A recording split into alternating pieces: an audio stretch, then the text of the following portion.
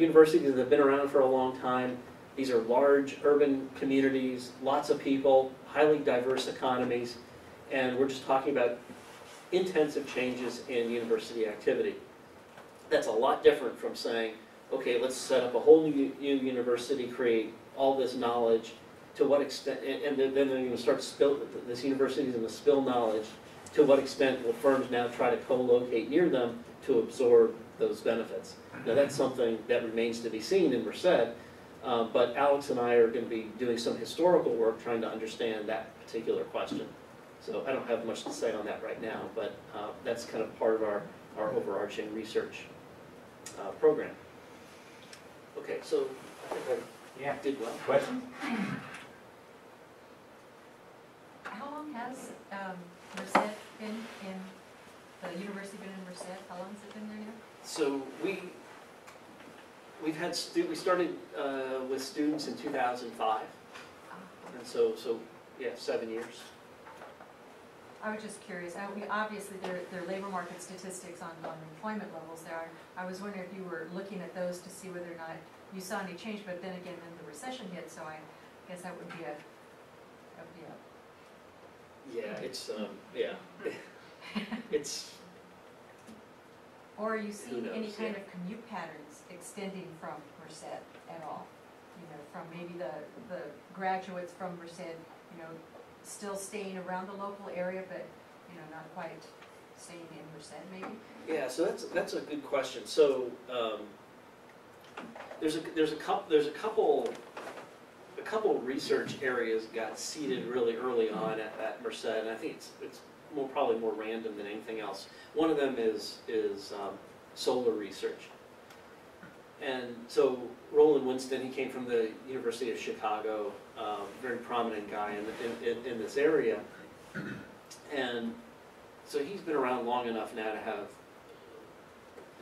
a good number of graduate students who, who finished his program.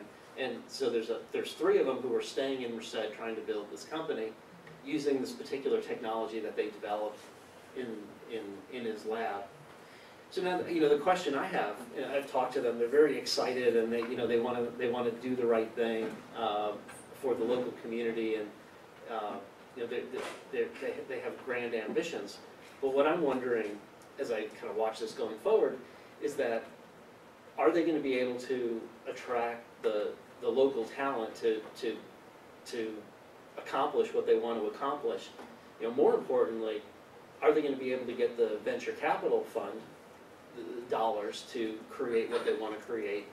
Because that's another big benefit of these agglomeration economies, let's say in the Silicon Valley, is that the researchers are there, the developers are there, the money is there.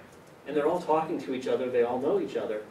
But if you're out in the periphery, in the Central Valley, you know, it, it, it, it's gonna be a lot harder to do business, so i- i- if I had to predict, I, you know, I think the, the benefits of the agglomeration economies that economists have kind of been documenting for, you know, about a decade now, if, if I were to think about it, just kind of like my first cut analysis, I see those graduate students ultimately moving their business to the Silicon Valley. Yes, sir. Was, was that in your data set? Because- No, no, because, um, Okay, because it was too rural. Yeah, it, it, so they, it didn't exist then, but also, um, we're only looking at, at, at, at counties with two hundred fifty thousand people or bigger. So we miss a lot of important universities, like Duke University's not in there. Well, I was wondering, because if you're excluding that uh, segment of uh, the population, um, one one of the things I was wondering is that if a, uh, if industry were space intensive, required land, Yeah. or, you know, uh, oh, and ease of uh, building, know, whatever, Right. uh, versus population density, which, you know, would uh, inhibit that. You know, Right. You'd be constrained by, uh, you know, freedom to build things or test. Right. So, you know, that's a different paradigm, I guess.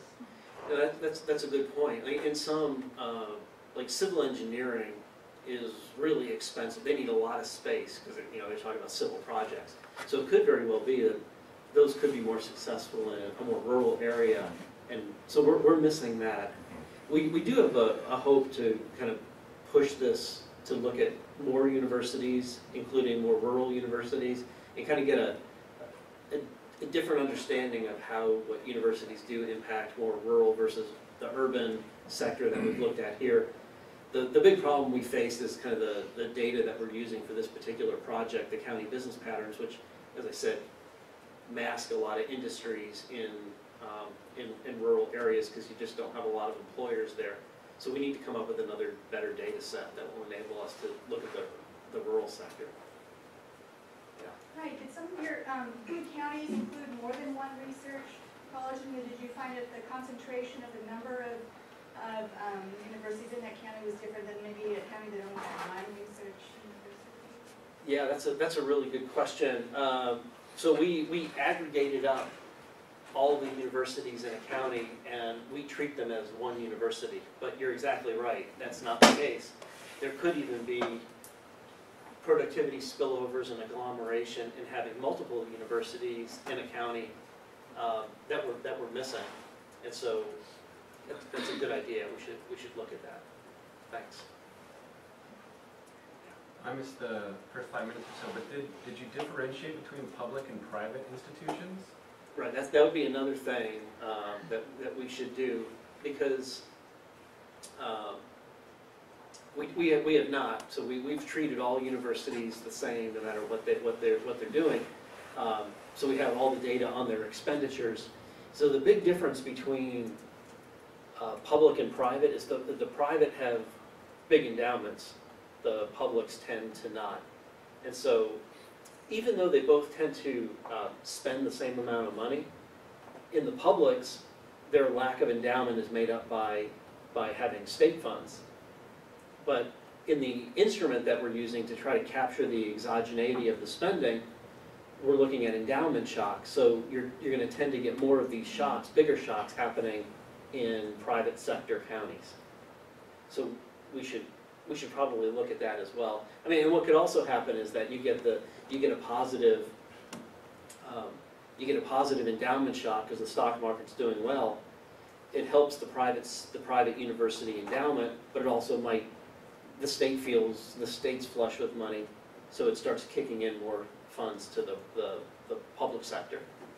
Um, so that's kind of all being that, that's, that's all being just sort of averaged out in our, in our analysis. We don't, we're not distinguishing between those two things. Um, But it could very well be that public and private do different kinds of activities which we might want to capture.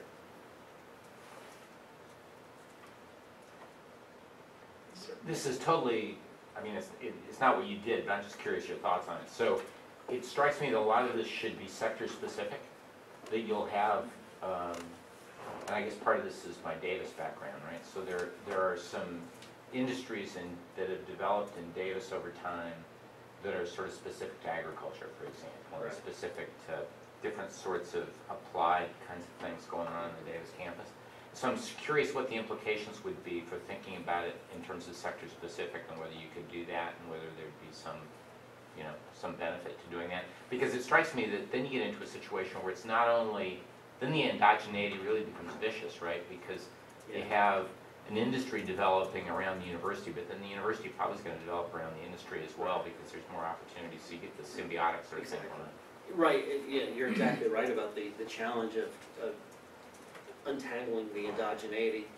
What we thought about doing um, is that you can dig deeper in the, the, the IPEDS data and you can, you can get, you can get a sense of what universities are specializing in, whether it's agriculture or engineering or arts and sciences or, or human, social sciences, humanities.